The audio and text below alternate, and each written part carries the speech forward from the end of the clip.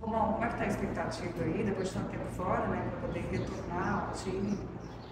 Ah, trabalhando né, na, na recuperação para voltar o mais rápido possível e poder ajudar CRB.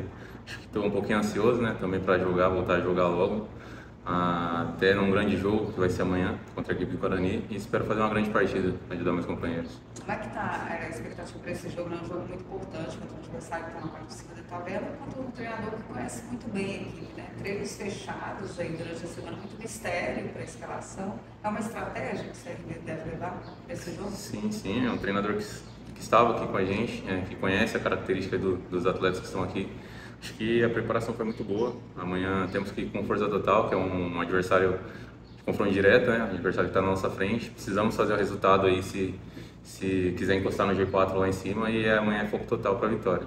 A pergunta do João Vitor, da Nova Rádio Jovem.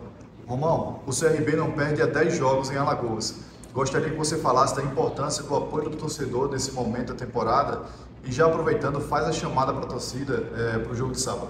É muito importante o comparecimento da, da, torcida nos jogos. É, acho que é um incentivo a mais para a gente que está ali dentro de campo. A gente sente o apoio do torcedor, ainda mais é, com essa sequência é, em casa e sem derrotas. A gente tem que manter isso, que em casa a gente tem que fazer nosso papel.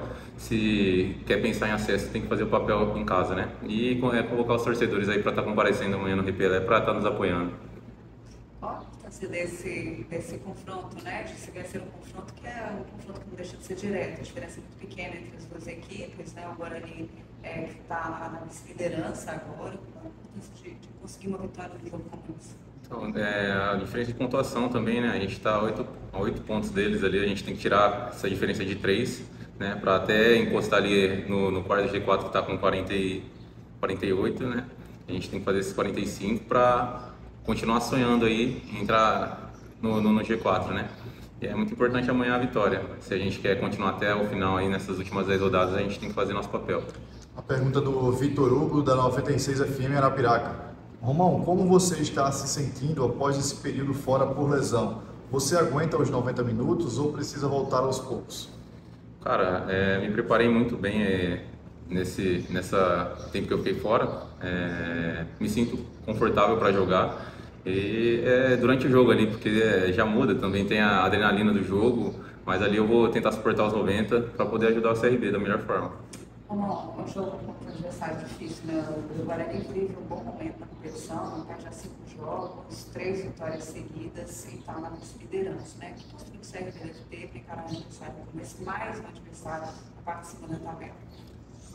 É, a gente tem que se manter igual a gente vem fazendo nos outros jogos, é, colocar nosso ritmo. Acho que como eles são uma grande equipe, a gente também é, o CRB, a gente jogando dentro de casa, a gente tem que botar a cara mesmo, a gente tem que ir para cima porque estamos jogando em casa, né? Aqui quem manda é, é a gente, né? CRB.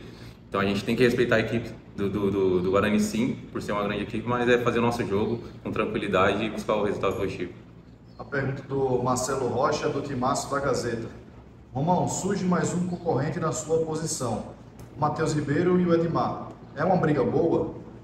São grandes jogadores. Acho, até por ser mais velho é, que eu, consigo adquirir muita, muita experiência com eles. Me ajudam muito também. Para mim, eu acho que quem jogar vai, vai dar o seu melhor, vai ajudar o CRB e está bem servido na posição. Esse clima de mistério e treinos fechados, também o Paulista não é de fechar tantos treinos assim na mesma semana. Né? Você acha que faz parte do jogo? Realmente. Acho que nessa parte a gente tem que se blindar mesmo, né? Etapa final de campeonato, a gente tentando algo a mais ali, é, mirando o G4. Acho que isso daí é também estratégia dele, né? Pra, pra gente fazer o nosso melhor no jogo lá e também às vezes surpreender de alguma forma. Tem surpresa? Aí eu posso falar, tem que deixar com ele, né? A pergunta do Luciano Costa, do Esquadrão 89. Romão, enfrentar o time comandado pelo seu ex-técnico torna a partida mais difícil?